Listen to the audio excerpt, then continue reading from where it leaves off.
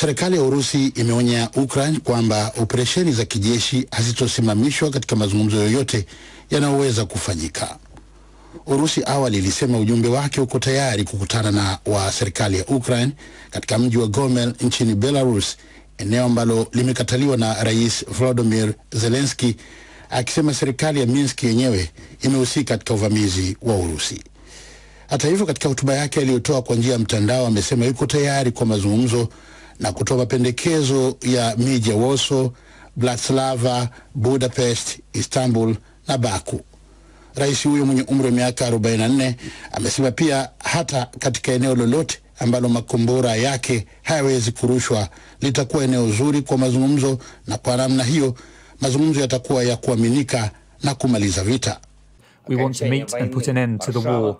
Warsaw, Bratislava, Budapest, Istanbul, Baku. We offered all of them to the Russian side, and we will accept any other city in a country that hasn't been used for launching missiles.